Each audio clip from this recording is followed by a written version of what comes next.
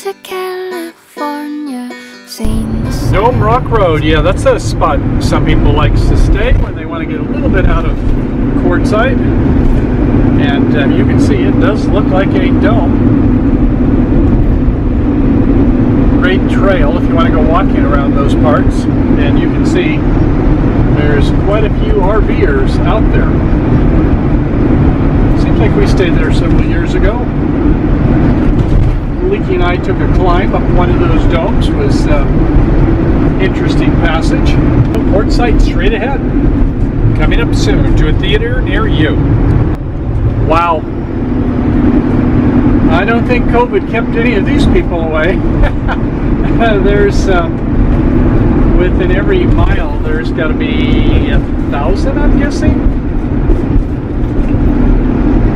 Looks like the circles aren't too tight um, here, so people are keeping a little bit of distance between them for the most part. And there, there's some even in the ravines down there to kind of keep out of the wind, I guess. Don't see them very easily, but most people are just kind of hanging on the, off of the main roads. Some of them big rigs I can see out there. But yeah, this Dome Rock area, this would be on the west side of Quartzsite, looking good. And look at this up ahead. I think these people must know something. They're right here by this mountain. Um, now the winds have been going from left to right, north to south. Uh, I don't know if they get wind protection here or not, but I almost would have a hunch that's where the smart money goes to maybe avoid some of the winds. But who knows? There might be other reasons. Maybe they like the hiking up there on that uh, bridge. I'm not sure. I know the name of that one. And as I look off in the distance, maybe about, oh, five miles out there towards the distant mountains, yeah, I see thousands more out there. So, as we get into Quartzsite up ahead, there is the La Posa North and La Posa South is some of the main areas where people go. And I'm going to be heading to the right, going south to meet up some folks. We are in Quartzsite city limits. Exit 17 coming up ahead on the west end of town. And you can see the shadows are getting long, so sunset isn't that far away, although where it says it's 502 is that uh, we know is that yeah it's going to be later sunsets here because of the hour time zone change. In one mile, take exit 17 on the right to US 95, then take the Okay. first left. Thank you, Garmin. Arco Station 243 for diesel and 232 for regular gasoline. I'm sure in some of your Midwestern states um, and southern states you can say, oh, we can do better than that for us Californians. That's so cheap. I don't know. I want to gargle with it, wash with it. I'm not sure what. Take it home with me. Well, despite all the RVs that we saw um, coming in that were out in BLM land, not a lot of traffic and things going on here, is there? Yeah, there's the Tyson Wells grounds. I think I said Bob Wells. I'm thinking of the RVer. Tyson Wells area over here is where they have the flea market and everything else going on. Yeah, there it is. Tyson Wells, if you can see that. So it'll be cranking up here as the week comes on. couple more shops down south. I know they had some good food. Good food's everywhere, and if you're hungry, it's good. There's one right there, Chinese restaurant. Can't go wrong with that for tasty food, can you? Some of the gems and um, amethyst things like that um, in this area over here at Kuhn Street and Central are just phenomenal. Get some good finds. And I think it's $40 for two weeks stay in the BLM land, something like that. That's um, going to be what I'm going to do. I guess you can get water if you can pallet their water here. It is potable. And um, also do um, dumps. You have to wait in line sometimes quite a while, but if you need it, it is there. Okay, let's do a speed test here in Quartzsite. Saturday, 5 p.m. It is thinking, well, uh oh, not much. Not surprise here, and it's going to get worse as the week goes on. This is just kind of the start of the week. Well, there it's kind of trying. Up to about eight or nine. I tried a couple other times and it never got above five, so I got a little lucky spurt there for a second. And um, going up, well, it's been up and down.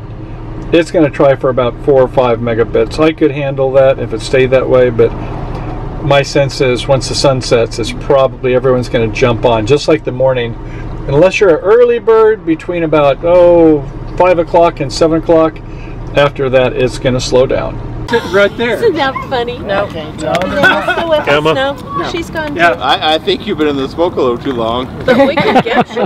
Call it smoky. We, we have I said, so it's warm outside? And she goes, no, Greg, it's chili. And I said, but you eat chili. And so we were going around. And finally she's like, it's a different meaning of the word. She was very And literal she's just, again. I mean, she's just. So then we started. Then she saw, she goes, it's kind of like the different meanings for ant. And I said, oh, so now you're going to say, you know, your aunt has six legs or something. She's like, oh, no. She's, I Day and Mrs. Day because I couldn't remember Greg and Shelley, Yeah, right. so It it's okay. She, you're going to be Roger Roger forever. I'm Roger. Yeah, no, uh, that's Roger. Roger. no, that's you're Roger Roger. He's Roger. Oh, So what Hey, did Jelly. you... well, your brother's Richard, so There we go. I'm Richard. Emma, You're Richard. And Richard marked the spot. That's right. And okay, here it is. As I mentioned, we were paying $40 for two weeks. Um, I think the season's 100 and change. I can't remember how many dollars, but over a 100. But um, okay, La Posa South. Here we go. And um, this is the check-in.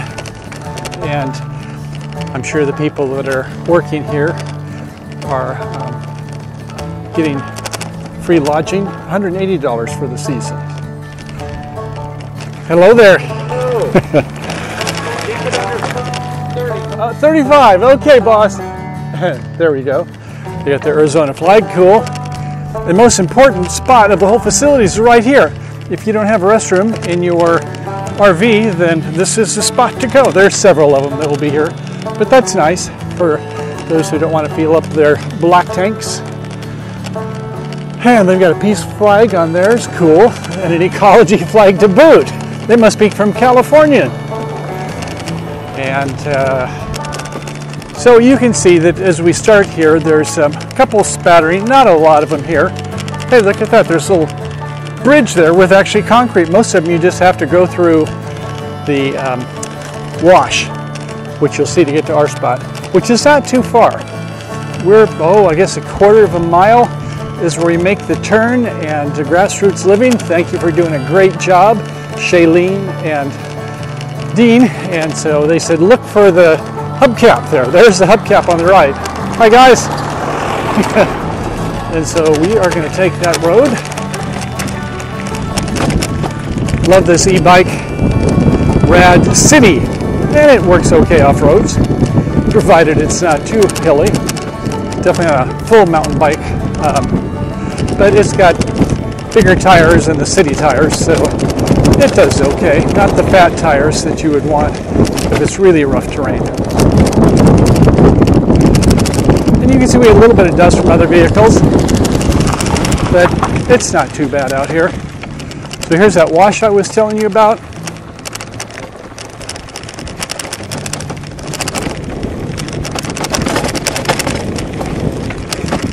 And so if you've got like a fifth wheel, you might want to go around the other way. Howdy. And here's some of our clan here. Garrett Seifert, certified RV technician, and you can reach him at Garrett, G A R R E T T, dot mobile RV services at gmail.com or call him 253 737 0724. Um, maintenance mechanic, so be sure to check him out if you need some work done while you're down here. Quite a few of them in that genre. And this is our little circle here. There's Jared's rig right there. There's moi, Shailene and Dean, Grassroots Living, next to us. Good morning, friends, and I am glad to be here. I mean, glad to be here with you. Last night, about one o'clock in the morning, I'm doing some editing, and the computer goes. Yeah, um, it wasn't a blue screen of death. It wasn't even a black screen of death. It just kind of shut down, and I was like, "Uh-oh." I went to start up and I got to the BIOS part of it, not to the operating system. And then after a couple tries there, I would not even get there. It would just be the MSI before it gets to the BIOS. It's like, uh-oh. So um, after a couple tries, I thought, you know, I'm going to sleep on it. I woke up in the morning, I could get to the BIOS, and I tried to exit the BIOS, and it looked like it was starting up Windows. So, yeah. So I don't know. This happened on the last trip a year ago, and uh, I had to take it in and have um, the disk repair. But I think it's the um, something in the hardware is causing this, which is a little spooky. But it's working right now, so I'm going to go ahead and finish this edit, get the video uploaded, and um, fingers crossed. I was thinking, wow, will I go to Phoenix and get another computer? If I use my iPhone or my iPad, um, how am I going to transfer files? I don't know if I have the connecting cable so keep your fingers crossed for me pray for me and I hope that I can keep this show going so anyway on with the show thanks for being here We all walk with an outer glow, living on our insides, casting shadows. The world's spinning around again. We all know, but we all pretend.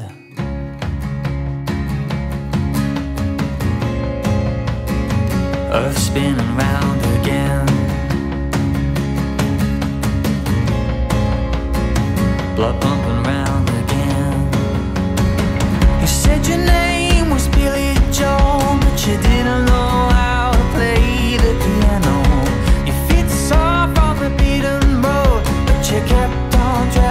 so-called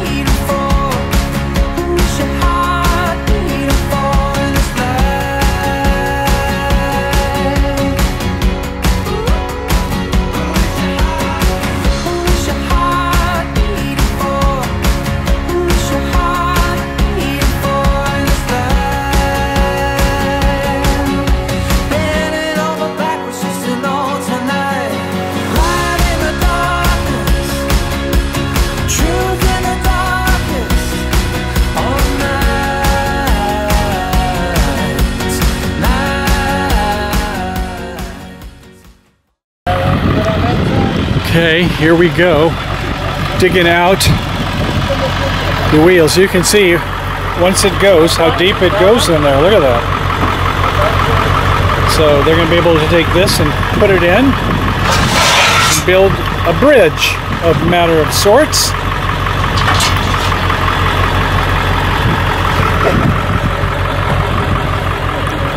Although if it was just the truck, that'd be one thing, but they've got quite a bit of load. I'm not sure how much this wood weighs here, but um, it's got to be at least a thousand pounds that they're pulling. Plus the weight of the trailer. Plus the weight of the trailer, yes.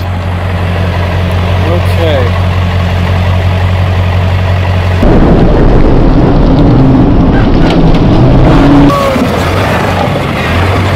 I think they've got it. Woohoo! Success.